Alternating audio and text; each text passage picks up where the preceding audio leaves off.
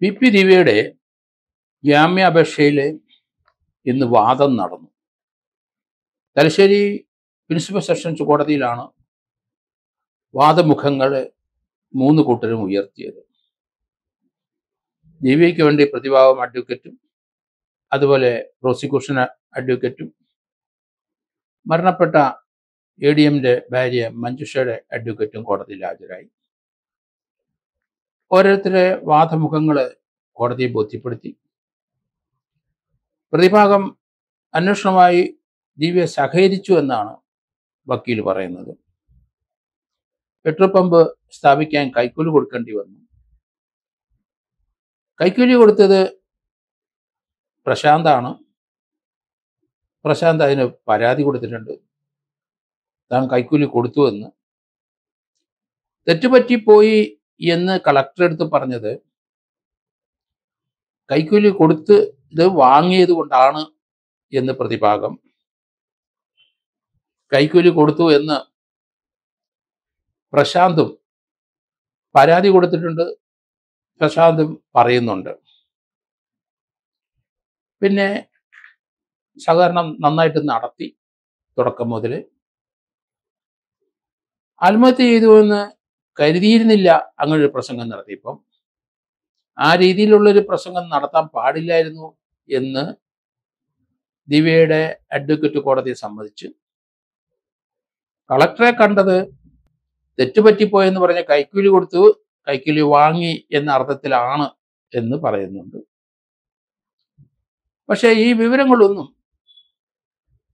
മറ്റു കാര്യങ്ങളിലേക്ക് കടക്കുമ്പം ഒരു പുകമറ സൃഷ്ടിക്കാനായിട്ടുള്ള ഇത് മാത്രമാണ് എന്നാണ് പ്രതിഭാഗം എന്നാണ് പ്രോസിക്യൂഷൻ വാദവും അതുപോലെ തന്നെ മഞ്ജുഷയുടെ അഡ്വക്കേറ്റും പറയുന്നത്. ദിവ്യ അന്വേഷണവുമായി യാതൊരു വിധത്തിലും സഹകരിച്ചില്ല എന്നാണ് എ ഡി എമ്മിന്റെ അല്ലെങ്കിൽ മഞ്ജു എ ഡി എമ്മിന്റെ ഭാര്യ മഞ്ജുഷയുടെ അഡ്വക്കേറ്റ് പറയുന്നത്. ജാമ്യാപേക്ഷയിൽ എതിർത്ത് തന്നെ അവരുടെ വക്കീൽ കോടതിയിൽ വാദ വാദമുഖം ഉയർത്തി. പള്ളിക്കുന്ന് ജയിലിലാണ് ഇപ്പം ദിവ്യ. എങ്കിലും കൈക്കൂലി വാങ്ങിയതിന് സാഹചര്യ തെളിവുകളുണ്ട് എന്ന് പറയുന്നതിൽ അർത്ഥമില്ല. പോലീസ് ചില കാര്യങ്ങളോട് ഇതിനകത്ത് അന്വേഷിക്കാനുണ്ട്. പോലീസിന്റെ അന്വേഷണത്തിൽ വ്യക്തതയില്ല. എന്ന് തുറന്നു പറഞ്ഞു മഞ്ജുഷയുടെ അഡ്വക്കേറ്റ് കാരണം ചില കാര്യങ്ങളെ പോലീസ് അന്വേഷിക്കാനോട് അതിലോട്ട് അന്വേഷണം പോകുന്നില്ല. കളക്ടർ അരുൺ വിജയനുമായിട്ട് നല്ല സൗഹൃദത്തിലല്ലായിരുന്നു എ ഡി എം കാരണം അദ്ദേഹത്തിന് ലീവ് കൊടുക്കില്ല അദ്ദേഹത്തിന് നിന്ന് ട്രാൻസ്ഫർ ചെയ്ത് പറഞ്ഞയക്കില്ല. അതിനൊക്കെ തടസ്സം നിൽക്കുകയാണ്.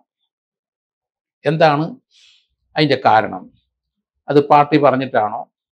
അദ്ദേഹത്തിന് ഒരു ഒരു പാഠം പഠിപ്പിച്ചു വിടണമെന്നാണോ പാർട്ടി പറഞ്ഞ പല കാര്യങ്ങൾ ചെയ്തു കൊടുത്തിട്ടില്ല എന്നുള്ള രീതിയിലാണ് ദിവ്യയുടെ പ്രസ്താവനകൾ ദിവ്യയുടെ പറച്ചിലെല്ലാം. അതുകൊണ്ട് ഇയാൾക്കെതിരായിട്ട് അതിശക്തമായ ആരോപണം ആ സെന്റ് ഓഫ് ആ സെന്റ് ഓഫ് സെന്റ് ഓഫിന് സമയത്ത് അവർ പറയുകയും ചെയ്തു. കൈക്കൂലി കൊടുത്തു എങ്കിൽ കൊടുത്തു എന്ന് പറഞ്ഞ പ്രശാന്തിനെതിരായിട്ട് എന്തുകൊണ്ട് കേസെടുക്കുന്നില്ല?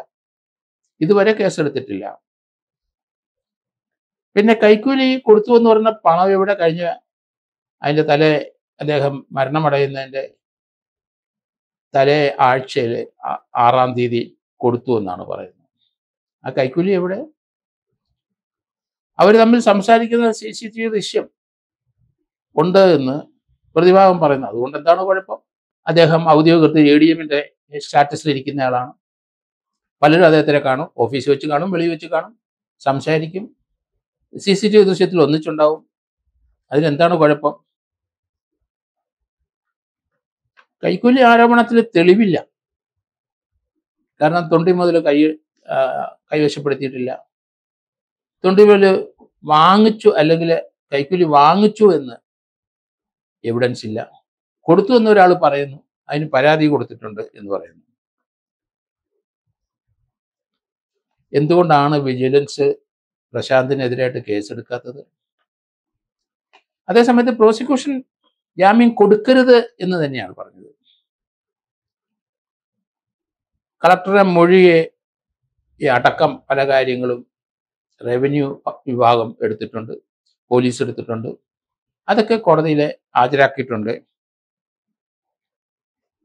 അന്വേഷണ സംഘത്തിന് എതിരായി തന്നെയാണ് മഞ്ജുഷ മുന്നോട്ട് നീങ്ങുന്നത്.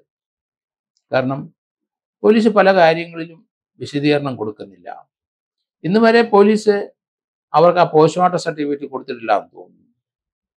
അത് കാണാനുള്ള അവസരം എന്താണ് പോലീസ് നിഷേധിക്കുന്നത് അത് മരിച്ചയാളുടെ വീട്ടുകാരുടെ റൈറ്റാണ് അവർക്ക് പോസ്റ്റ്മോർട്ടം സർട്ടിഫിക്കറ്റ് കൊടുക്കണം.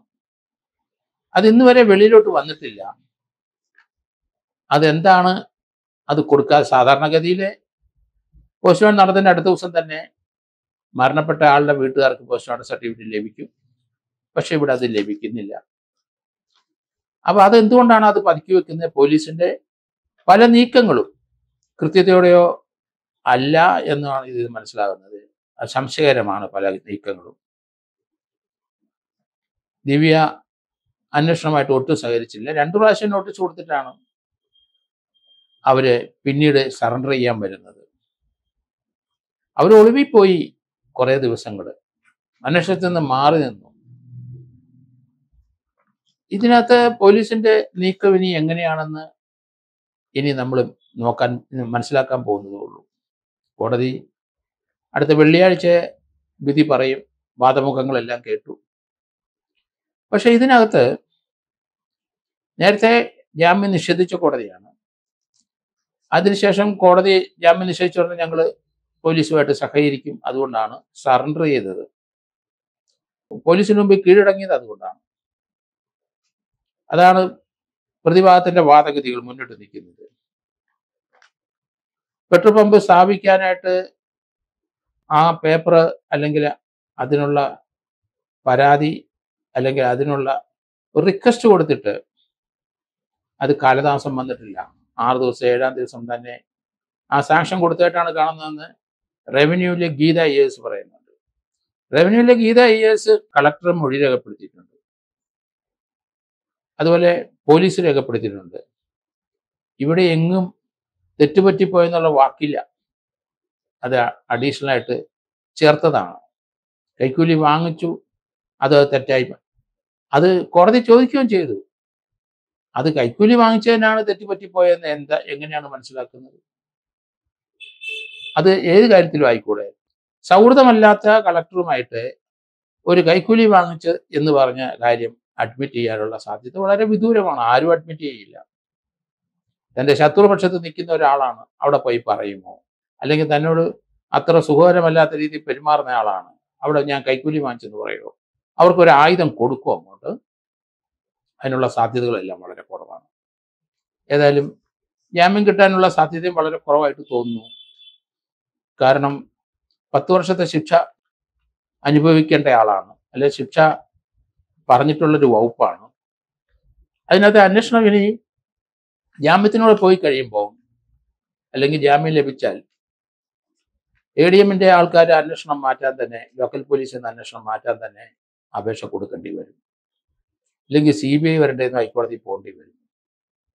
സത്യസന്ധമായ ഒരു അന്വേഷണം ഇക്കാര്യത്തിൽ നടന്നിട്ടില്ല. ഇനിയെങ്കിലും നടക്കുമെന്ന് നമുക്ക് പ്രതീക്ഷിക്കാം.